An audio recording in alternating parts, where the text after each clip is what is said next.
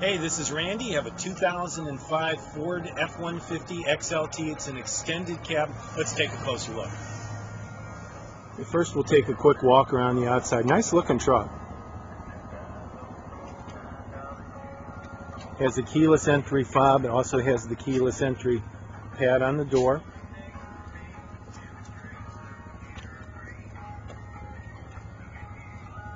Reese hitch is already installed and wiring already done. Has the bed liner. And has the uh, hitch right back here too.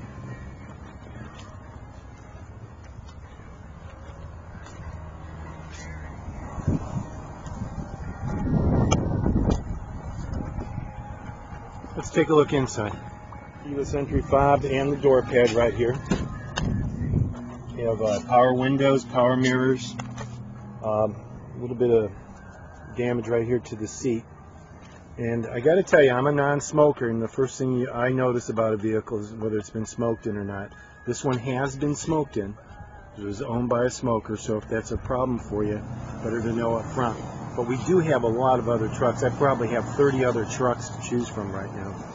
It's an extended cab, so you've got these rear doors back here, make it easier to get cargo and passengers actually in and out of that back seat. Let me go ahead and start it. Go ahead and start it up here.